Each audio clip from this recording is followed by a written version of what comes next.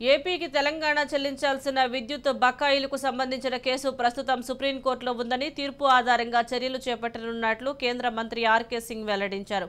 రాజ్యసభలో ఇవాళ ఎంపీ విజయసాయిరెడ్డి ప్రశ్నకు కేంద్ర మంత్రి సమాధానమిచ్చారు. విద్యుత్ బకాయిల చెల్లింపుపై తెలంగాణకు ఆ రాష్ట్ర హైకోర్టులో అనుకూలంగా ఇచ్చిన తీర్పును సవాల్ చేస్తూ ఏపీ సర్కార్ సుప్రీంకోర్టులో స్పెషల్ లీవ్ పిటిషన్ దాఖలు చేసిందని కేంద్ర మంత్రి తెలిపారు.